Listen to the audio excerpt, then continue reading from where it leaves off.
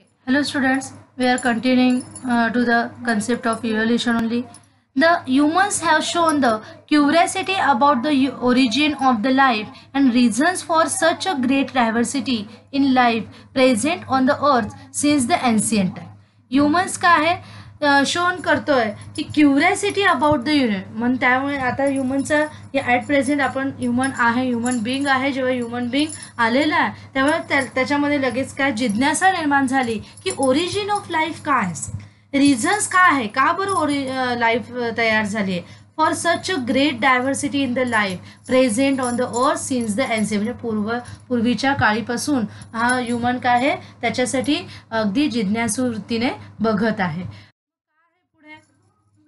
Different theories about the origin and evolution of the life have been proposed till today, of which the theory of gradual development of the living organism is accepted. मग वेगवेगळ्या theories ह्याच्याबद्दल लिहिल्या लिहिल्या गेल्या भरपूर तुम्ही बघायला गेलात लायब्ररीमध्ये तर काही इव्होल्युशन ऑफ लाईफबद्दल किंवा ओरिजिनबद्दल बऱ्याचशा जणांनी सायंटिस्टनी ते लिहून ठेवलेलं आहे टिल टुडे आत्तापर्यंत पण त्याच्यामधली थेरी ऑफ ग्रॅज्युअल डेव्हलपमेंट ही ॲक्सेप्ट केल्या गेलेली मग तीच का बरं ॲक्सेप्ट केल्या गेलेली आहे तर काय आहे आपल्याला बघायला मिळेल मग ह्या दोन त्याच्यात त्याच सारख्या आपण इथे दोन थेरीबद्दल इथे बघतोय तर ही पहिली आहे theory of the special creation क्लेरेशन म्हणजेच काय आहे मग ही क्रिएशन जी आहे स्पेशल क्रिए क्रिएशन ही ह्याच्यामध्ये काय खरं सांगितलं जातं आहे तर थोडंसं देवाणे म्हणजे देवावर संपूर्ण त्याचा विश्वास दाखवला गेला आहे देवाने ही सगळी सृष्टी निर्माण केलेली आहे पण त्याला काही प्रूफ नाही सायंटिफिक प्रूफ नाही आहे त्याच्यामुळे ते ॲक्सेप्ट केल्या जाईल दुसरी दिसते थेरी ऑफ पॅन्स्पॅरमिझम पॅ पॅन्स्पॅर मिझा पॅन्स्पॅर मिझा मग ह्याच्यामध्ये काय झालं आहे तर ह्याच्यामध्ये असं सांगितलं गेलं की एक मेटेरियट जसं आपण मगाशी ह्याच्याबद्दल बोललो कोणतो आपला डायनासोरच्या वेळेससुद्धा एक मेटिओरेट म्हणजेच काय उल्कापात झाला वगैरे त्यावेळेस आणि असं झालं तसंच त्यावेळेससुद्धा सुद्धा हे उल्कापातच झाल्यामुळे मेटिओरेट एक असा आदळल्या गेल्यामुळे वेगवेगळे एलिमेंट्स ह्या पृथ्वीवर आले आणि ते पृथ्वीवर आल्यामुळे त्यांनी ते वेगवेगळे ते काय वेगवेगळे एलिमेंट्स मग तिथे हायड्रोजन ऑक्सिजन कॅर्बनसारखे सिंपल सिंपल एलिमेंट्स त्यावेळेस तिथे काय आले आणि मग हळूहळू त्याचा आपल्याला का आहे पुढे त्याचे कॉम्प्लेक्स कंपाऊंड नंतर प्रोटीन्स वगैरे तयार झाले आणि प्री सेल हा तयार झालेला दिसून येतो अशी एक थेरी ऑफ प्लॅन्सपेन्झा आहे आपल्याला दिसून येते आता आपण बघूयात थेरी ऑफ इव्होल्युशन पण थेरी ऑफ इव्होल्युशन पाहण्याच्या आधी थोडंसं आपण peek a peek into the the history थोडंसं आपण हिस्ट्री काय लिहून गेल्या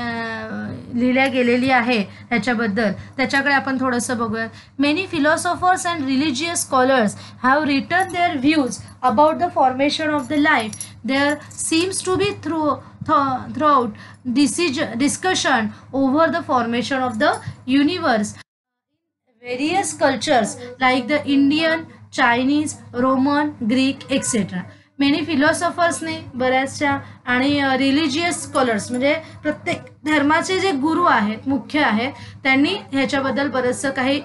लिहिलं गेलं आहे संतांनी वेगवेगळं काय काय लिहिलेलं आहे there seems to be through the discussion त्यांनी त्याच्यावर भरपूर चर्चा केली युनिवर्स कसं फॉर्म झालेलं असेल त्याच्याबद्दलच्या कल्चर्स कशा आपल्याला आपल्या ज रीतीभाती कशा असतात ते परंपरा काय आहे ते आपल्याला वेगवेगळ्या धर्मामध्ये लिहिलेलं आहे Various cultures have noted different type of the information about the planet, stars, uh, the Pancha Mahabhuta, living organism, etc. in the form of the poetry, stories and the religious or sacred books. म्हणजेच काय various culture मग आपल्या पूर्ण प्रत्येक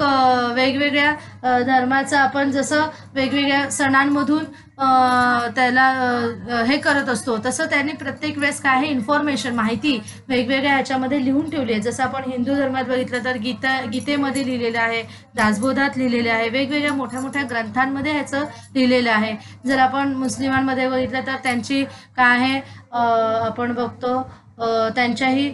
बायबलमध्ये ते लिहिल्या गेलेल्या आहे म्हणजे असं प्रत्येकाच्या धर्माप्रमाणे ते लिहिल्या गेलेलं आहे प्लॅनेट स्टार्सबद्दल सुद्धा लिहिले पंचमहाभूता आपण जर बघितलं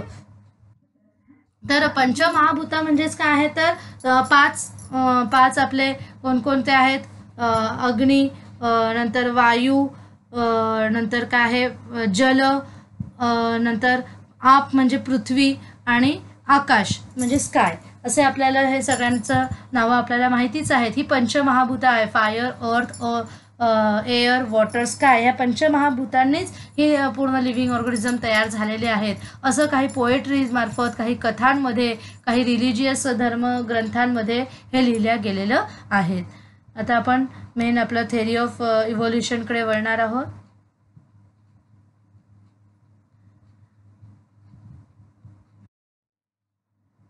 तर थेरी ऑफ इव्होल्युशन बघायला गेलो तर according to this theory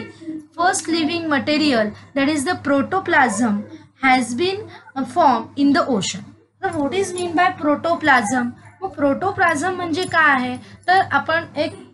single cell एक सेल घेतला सेलमध्ये सेलमध्ये काय काय आहे महत्त्वाचं तर सेलमध्ये असलेला न्यूक्लियस सेलमध्ये न्यूक्लियस आणि सेल मेम्ब्रेनच्या मध्ये असतं काय सायटोप्लाझम आणि पुन्हा सेल ऑर्गनिक ह्या तिघांचं मिळून जे काय तयार होतं दॅट इज द प्रोटोप्लास्ट काय काय आहे सेल सेलमधला न्यूक्लियस सेलमधला सायटोप्लास आणि सेलमधला काय आहे सेल ऑर्गनिल्स या तिघांनीही मिळून जे काय तयार होतं that is the protoplast has been form तो प्रोटोप्लान्स काय आहे फॉर्म झाला इन ओशनमध्येच ओशनमध्ये first living material has been form in the ocean organ in due in due course of time आणि त्याच कोर्स ऑफ मध्ये युनिसेल्युलर ऑर्गनिझम वॉज फॉर्म आणि त्याच्यातूनच युनिसेल्युलर ऑर्गनिझमचं काय आहे फॉर्मेशन आपल्याला झालेलं दिसून येतं मग अकॉर्डिंग टू धीस थेरी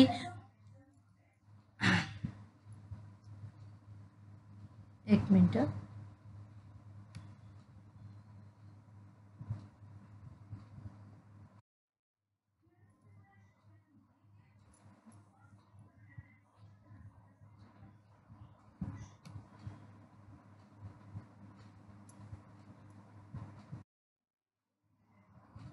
आपण थोडं पुढे जाऊया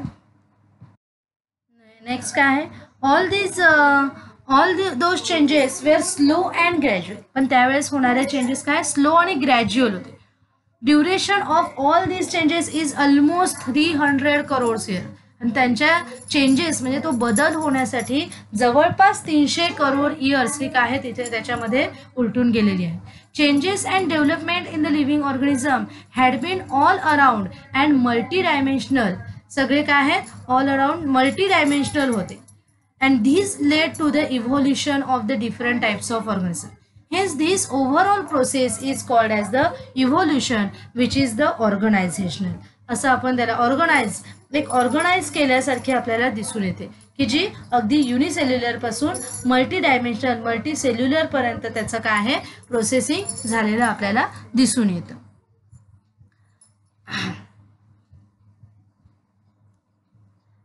hence this overall process is called as the काय म्हटलं आपण evolution progressive development of the plants and the animals from the ancestor having the different structural and functional organisation is called as the evolution म्हणूनच अजून एक आपण इव्होल्युशनचे आता definition काय सांगू शकतोय प्रोग्रेसिव्ह डेव्हलपमेंट झाली प्लांट्स आणि डेव्हलपमेंट ॲनिमल्स प्रोग्रेसिव्ह म्हणजेच काय प्रगती झाली तशीच राहिली का त्याचा आकार जसा आधी होता तसाच राहिला का नाही तो चेंज होत गेला आणि तो चांगल्या